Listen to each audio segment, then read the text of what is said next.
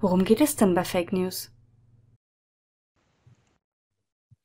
Gerade der Begriff Fake News ist ein sehr spannender Begriff, da er verschiedene Gebiete beschreibt bzw. verschiedenartig dargestellt werden kann. Zunächst Fake News, klar, sind Inhalte, die natürlich falsch sind. Das ist das Wichtige.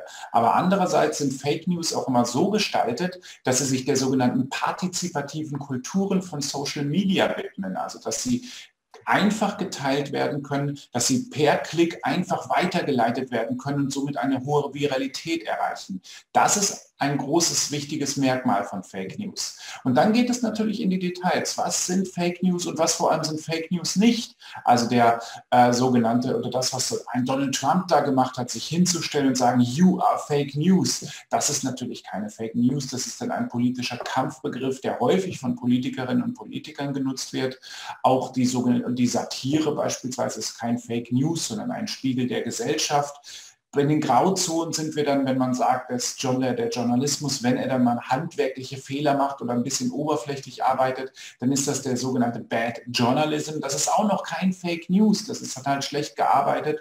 Oder noch weitergehend, wenn wir von sogenannten Zeitungsenden sprechen, wo eine Zeitung am nächsten Tag sagt, Entschuldigung, wir haben gestern einen Fehler gemacht, das korrigieren wir, dann ist das auch kein Fake News, sondern höchstens eine positive Fehlerkultur.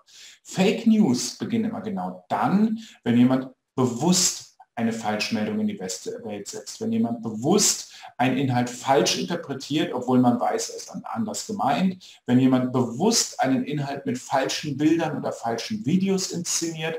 Oder wenn jemand bewusst komplett einen Inhalt erfindet, um damit beispielsweise Geld zu machen. Also wir unterscheiden da tatsächlich zwischen dem sogenannten Fabricated Content, mit dem falsche Werbeanzeigen gestaltet werden, um Menschen in Abo-Fallen zu locken, oder eben den sogenannten Hybridfälschungen, die ideologisch motiviert genutzt werden, wo jemand versucht, jemand anderen in einer Meinung zu beeinflussen, wo jemand wirklich versucht, mit falschen Bildern, mit falschen Interpretationen oder auch mit Desinformation zu arbeiten.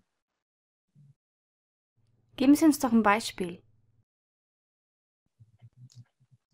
Der Klassiker unter den Fake News sind natürlich die Hybridfälschungen. Hybridfälschung bedeutet, dass jemand einen Teil nutzt, der unweigerlich wahr ist, der definitiv korrekt ist und die einfach in einen falschen Zusammenhang setzt, der dann definitiv falsch ist und die Mischung dann dementsprechend auch nicht korrekt ist. Also dass Bilder genommen werden aus anderen Situationen, die einfach nicht dorthin gehören und dann wird beschrieben, das ist in dieser Situation geschehen und das passt dann halt nicht. Wir haben in den letzten Wochen, äh, in den letzten Tagen sehr häufig äh, Bilder aus Deutschland gesehen von, von der Flutkatastrophe.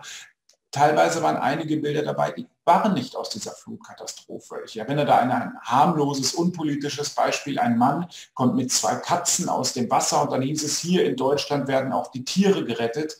Dieses Foto stammt aus dem Jahr 2008 und wurde in den USA aufgenommen. Also zu sagen, dass das aus Deutschland 2021 stammt, wäre dementsprechend nicht richtig. Das Foto, ja, ist korrekt, unweigerlich richtig, gar kein Problem, aber der Kontext, in dem es gesetzt wurde, war falsch und dementsprechend sprechen wir von einer Hybridfälschung. Das wäre ein Teil der Fake News, weil sich dieses Foto sehr leicht über Social Media auch verbreiten lässt. Ich drücke einen Klick, sage weiterleiten und sage, schau mal, hier werden auch Tiere gerettet. Also für mich ist die Teilnahme an dem ganzen System sehr einfach. Und was kann Erwachsenenbildung tun, um dabei zu unterstützen, mit Fake News umzugehen? Das größte Problem ist ja immer der erste Schritt, ich muss mich selber dazu animieren, auch ja eine Meldung zu hinterfragen. Das Problem ist ja auch häufig, dass, äh, dass wir immer den Informationen Glauben schenken, die wir auch für richtig halten, also von vornherein für richtig halten. Also wir reden hier von der sogenannten Confirmation Bias. Also wir halten Informationen für korrekt, wenn wir, äh, wenn sie unsere eigene Überzeugung, unsere eigene Position unterstreichen. Und wir dementsprechend auf der anderen Seite lehnen wir Informationen ab, die unsere eigene Position eben nicht unterstreichen. Und davon müssen wir uns grundsätzlich lösen. Das ist der erste wichtige Schritt. Und das muss man auch vermitteln können und auch erklären können, warum das so ist. Und dann im nächsten, äh, im nächsten Schritt können wir halt ganz methodisch sagen, okay, wenn das geschehen ist, dass du halt in der Lage bist, dich selbst auch kritisch zu sehen, dann kannst du bestimmte ja, Methoden anwenden, wie du Falschmeldungen erkennen kannst. Zum einen fängt das an mit Kommunikationsstrategien erkennen. Also wie funktionieren Kommunikationsstrategien? Was ist das sogenannte Framing? Was bedeuten Narrative im Kontext von Falschmeldungen? Das kann man alles vermitteln. Da gibt es Möglichkeiten, die eigene, ja, das, die, die eigene Auffassungsgabe zu schärfen. Und dann schaut man halt ganz schrittweise methodisch weiter, wer hat eine Information verfasst, wie vertrauenswürdig sind Absender, wie nutze ich Suchmaschinen, wie kann ich beispielsweise eine Bildersuche nutzen, um herauszubekommen, ob ein Bild in einen Kontext gehört oder nicht. Und letztendlich, wie funktionieren Filter in meiner Suchmaschinensuche?